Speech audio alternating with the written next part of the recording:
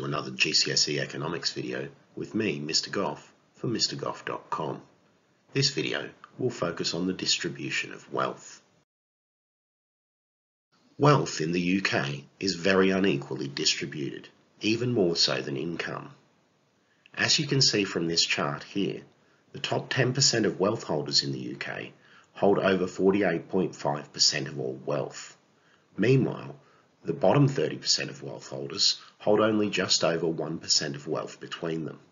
There are a number of factors that contribute to the unequal distribution of wealth in the UK.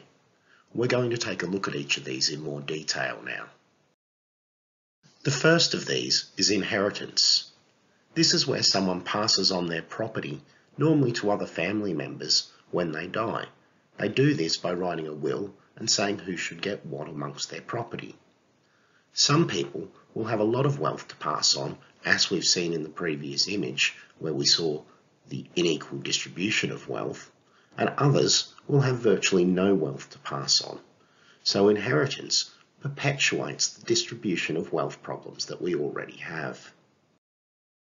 The next of these is savings. It's fairly straightforward that the more you earn, the more you're likely to be able to save. People on low incomes and benefits may well find that by the time they've paid for all their essentials, they have nothing left to save. When it comes to people who have disposable income, that is some money left over after they've paid for their essentials, their saving and spending preferences will affect how much wealth they're able to acquire. Some people will spend all of their money on consumable goods and have a really good time but have nothing left to show for it. Others might save up and spend on assets that they're going to have for the future. Some may even take their savings and invest them into a business. If this business turns out to be profitable, then they'll have an even higher income and higher wealth in the future. Those people that own more than one property are able to act as a landlord and make money by renting them out.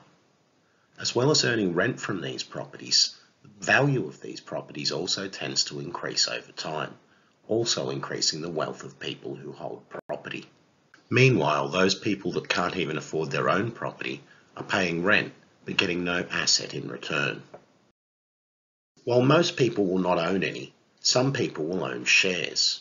Shares provide people with a stake in the ownership of a public company. Shares can go both up and down in value based on how well firms do.